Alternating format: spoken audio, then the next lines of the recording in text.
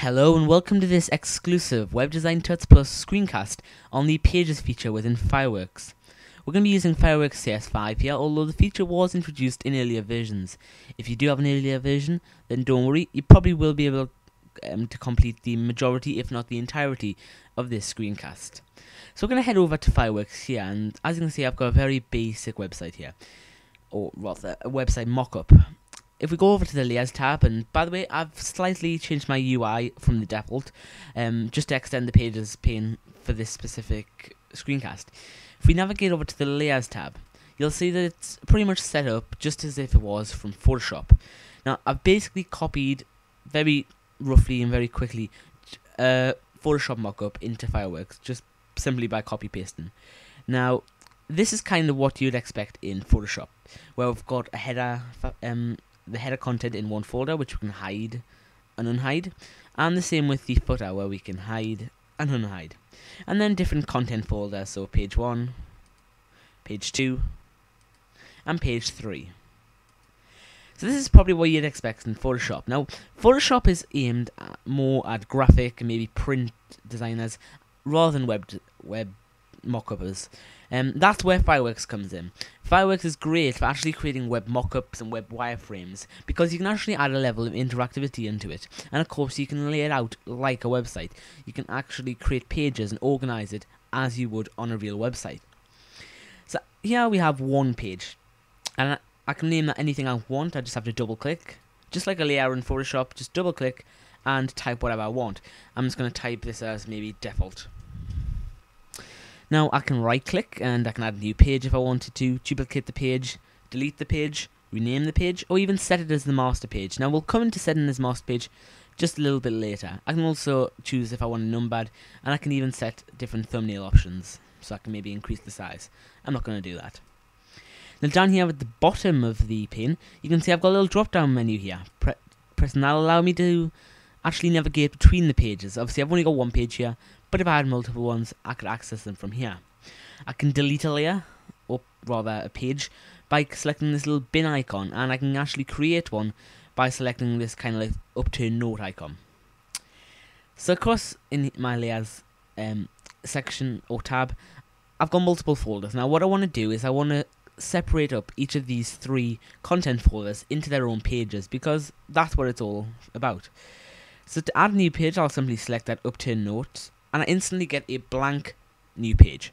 So how would I go about actually adding this stuff? Well, I'm just going to do a simple copy and paste. I'm going this is obviously page 1, so I'm just going to copy page 2's content. And it's very simple, I'm just going to drag and control copy. Or rather control C. Paste that in, and there we've got a second page. We can call this the gallery page. If I wanted to create a third page, maybe to display this kind of like block text element. I can do the exact same. Copy. And then I'll just add a new page. And maybe call it the about page. Now notice something different about this. Um, this is actually put into second um, place. That's simply because I selected it. So maybe if I want to move the about page to maybe a later on stage, or, or that further down in the layers panel, I can simply hold and drag further down and it'll move. Now back to this default um, page, or rather now it's actually the home page. I can just swap over this content onto page 1. So there, we've actually set up three very simple pages. We've got our home page here, our gallery page, and our about page. Now something interesting to note is this is just all copied. They're all independent pages. Nothing's linked and nothing's copied. Well, rather it is copied, but rather moved. It's nothing is they're not linked up in with common elements. I can completely edit this page, and the effects aren't seen on the other pages. It's completely independent. However, to be honest, this kind of content, such as the logo or the navigation, is actually something that is common across all pages. And if I wanted to edit the logo, it should really apply to all pages, just as a real website would. So how exactly would I go about approaching that? Well, it's very simple. It's called the master page. So I'm just going to start a new page here. And I'm going to call it master. Just for ease, I'm going to move this up to the top. This master page is basically a blank page at the moment, but whatever content I put on this master page will apply to every other page. And what I want to do is to make this as the master page, I have to right click and simply set as master page. You can see a little extra icon appears in here, and in the drop down menu, it hides it as a page and adds the little asterisk afterwards. So yeah, we've got our different pages, and anything I put on the master page is going to be shown on these pages. So I can simply add maybe a box, and that box is seen on every other page.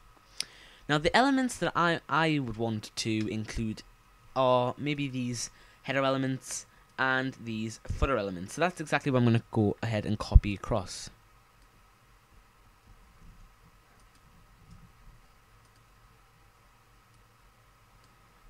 Notice how that's gone. But when I go to the master page and paste that in,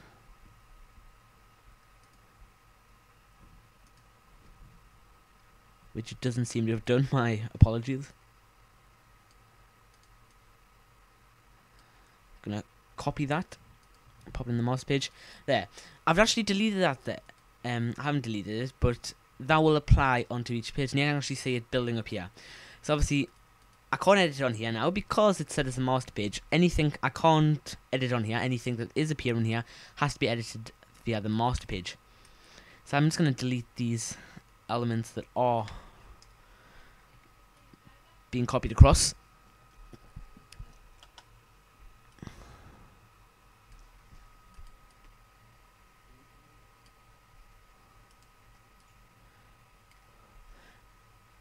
And then, now the only content which is actually appearing on these pages is the actual page content. All the header content and all the footer content is completely ind um, is completely independent to the actual rest of the content. If I try and highlight it all, the only thing that's actually highlighted is this page content. And if we head back to the master page, I can maybe move this logo, and the effect is seen on every other page. Pretty cool. So now what we should start to look at is actually linking the pages up. We've got a master page here which includes the navigation menu. Well, what about these other pages? How are we going to navigate to them in our mockup? Well, we're going to use this tool across here, the rectangular hotspot tool. I'm going to select that, and I can change the shape if I want. So I'm going to head over to the master page, and I'm going to draw a hotspot across the home. I'm going to add a link. Now, how do I link to a page? Well, Fireworks does it all. We've already got home.htm here, which if I click that, that's going to link it to home. And I can also set alternative text or even a target. If I want to, just for the sake of viewing, I can actually change the fill color of that kind of like icon. It doesn't really make that much difference. So I'm just going to draw some other hotspots.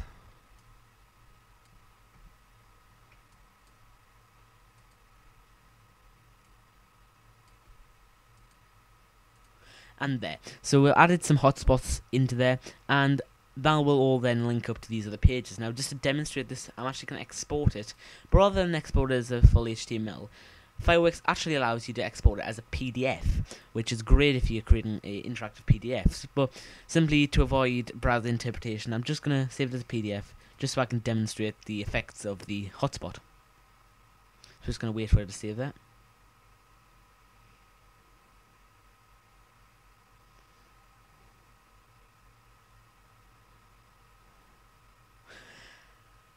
And there. So we've got a PDF here, and as you can see, the content's being copied across. It's a bit over resoluted because it's it's only an 800 pix by 490 documents. But if we click home, it's going to take us to home page.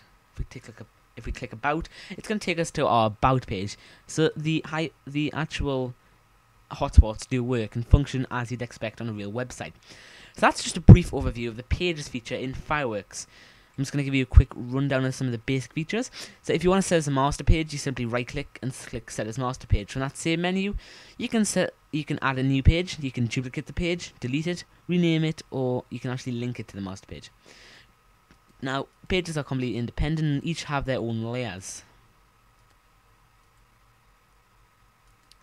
And to add a hotspot, we simply use this hotspot tool with the kind of like little chain link in the web box of this side and we can draw a hotspot. We can change the shape if we want, so we can have an oval or even a polygon.